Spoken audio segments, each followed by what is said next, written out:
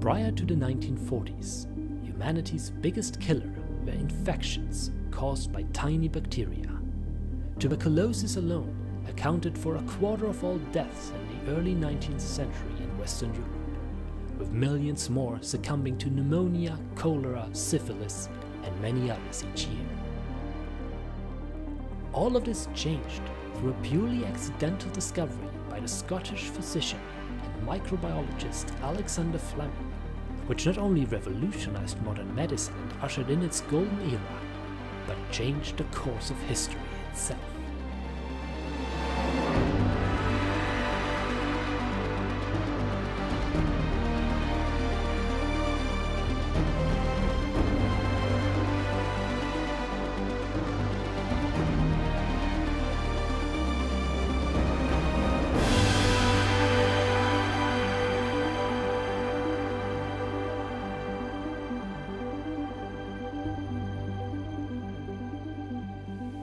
Alexander Fleming was born in Scotland in 1881 and was trained as a physician at St Mary's Hospital Medical School in London. After completion of his training, the captain of the hospital's rifle club, in which Fleming was active and who really didn't want to lose Fleming from the team, convinced him to join the hospital's research department as a bacteriologist.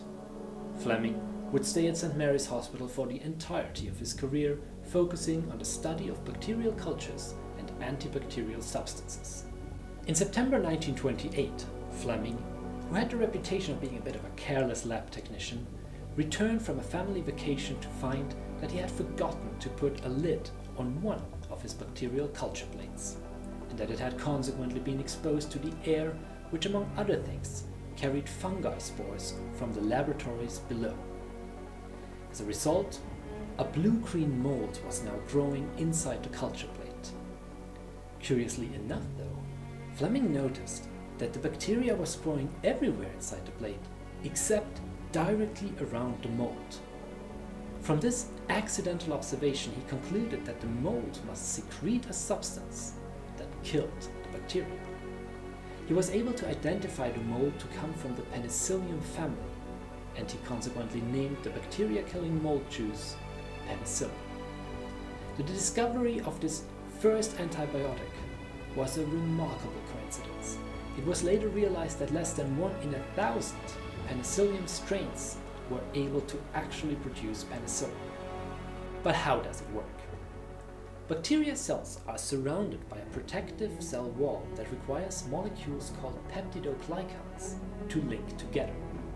The penicillin now comes in and prevents the linking of these molecules, thus causing the bacteria cell to break down and die. Since human cells do not require this molecule, only the bacteria is affected. Fleming published his findings in 1929 without attracting much attention in the field. Even Fleming himself was unsure about the importance of his discovery and saw potential use for penicillin more as a lab tool for bacteriologists rather than for medical purposes. When asked whether there will ever be a practical clinical application for penicillin, Fleming responded by saying, I don't know. It's too unstable, it will have to be purified, and I can't do that by myself. In the following years, Fleming sent his mold cultures to anyone who requested them in the hope that they would be able to isolate the active compound for therapeutic use. But it took a whole decade before a team around Howard Florey and Ernst Chain at Oxford University succeeded. In May 1939, they had purified enough penicillin into a soluble powder to start trials. They took eight mice that had been infected with an especially virulent strain of Streptococcus and injected four of them with penicillin. The next morning, only the treated mice were still alive a result which Chain described as a miracle. A year later, the team was ready to experiment on humans. Police constable Albert Alexander, who had developed a severe infection on the face, became the first human to receive injections of penicillin. Within 24 hours, his condition improved. But before a full cure could be achieved, the meager supplies of penicillin ran out, and Alexander unfortunately died few weeks later. Another half a year later, Fleming himself used the purified penicillin of the Oxford team to attempt treatment of a work colleague of his brother's from a fatal infection of the nervous system. Within one week, he had completely recovered. It was this stunning success that showed the true potential of penicillin.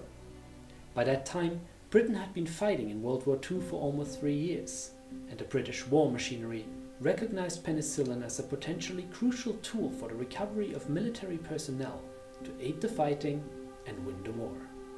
Penicillin had become an instrument of war. Special efforts were taken to prevent the penicillin producing mold strains to fall into enemy hands. Agents tried to track down every single one of the mold strain samples that Fleming had sent out over the past decade, the War Cabinet set up a dedicated penicillin committee which included both Fleming and Florey to push for mass production. Since the situation in war-torn Britain wasn't ideal for this, Florey and his collaborator Norman Heatley traveled to the still neutral US for help.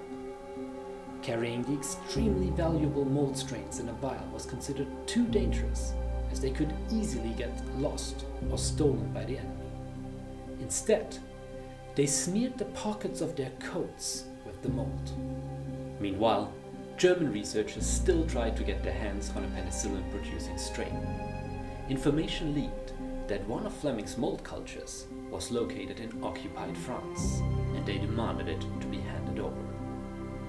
However, the French gave them a similar, yet false strain that did not produce penicillin. Another sample was located in the Netherlands. Again, the Germans received a false strain without the ability to produce penicillin. It wasn't before October 1944 that German researchers finally managed to produce penicillin themselves. By then, it was too late to have a significant impact on the war. Before then, the only supply on the German side was captured from the Allies. Most likely it was with such captured penicillin that Hitler himself was treated after the assassination attempt in July 1944. While another victim of the attack, who did not receive penicillin, died of an infection, Hitler survived. One of the biggest obstacles for mass production was the tiny quantity of penicillin that Fleming's strain produced. The Allies therefore began a global search for viable alternatives, with promising candidates being found in China, India, and South Africa. The most promising strain, however, was found in a moldy sweet melon that was sold on a fruit market in Illinois in 1943. It produced about six times as much penicillin as Fleming's original strain did. They furthermore subjected the mold to intense X-rays in the hope of causing a chance mutation in the genome that would increase the yield even further. Once the US entered the war, the US government took control over all penicillin production. What followed in the next couple of years was a remarkable collaborative effort between academia, industry and government to provide the military with a sufficient supply of penicillin. While in 1941 the US didn't have enough penicillin to treat even a single patient, by the end of 1942 they had enough for about a hundred and by September 1943, enough penicillin was in stock to satisfy the needs of the entire Allied armed forces. In only a few short years after its first successful purification, its production had been transformed from a labor-intensive laboratory method that yielded tiny amounts of penicillin grown in bedpans or milk bottles, into a highly industrialized process that used 10,000 gallon deep fermentation tanks to produce highly refined penicillin in substantial quantities. While in 1939, penicillin had only been a laboratory curiosity, by 1945 it had transformed into a mass-produced, real-world miracle that all but defeated the lethal threat of bacteria that we were exposed to for all our evolution, and nothing less than vanquished humanity's biggest killer. There are no precise numbers, but it is estimated that penicillin saved more than 100,000 lives on the Allied side just between D-Day and the final German surrender less than a year later. Since then, penicillin went on to save more than 200 million lives. In no small part, thanks to the introduction of penicillin and other antibiotics, human life expectancy jumped up by 8 years between 1944 and 1972.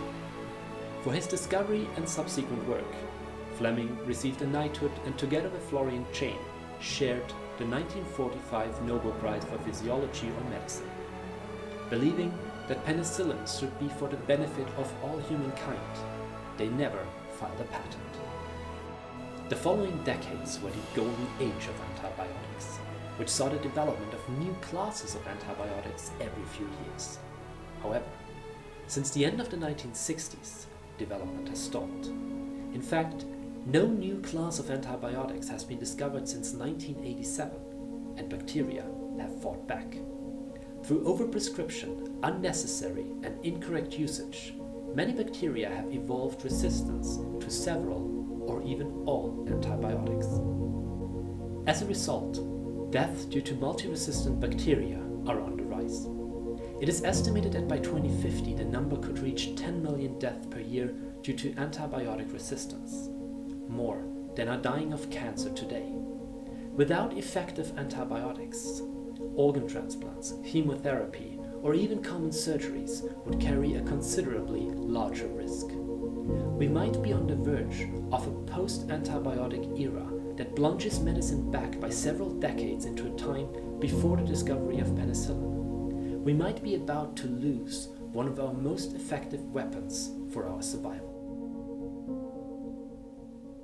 Without a doubt, there is no drug that has shaped our modern world more than penicillin has. Alexander Fleming himself reflected on his discovery like this. One sometimes finds what one is not looking for. When I woke up just after dawn on September 28, 1928, I certainly didn't plan to revolutionize all medicine by discovering the world's first antibiotic. But I guess that was exactly what I did.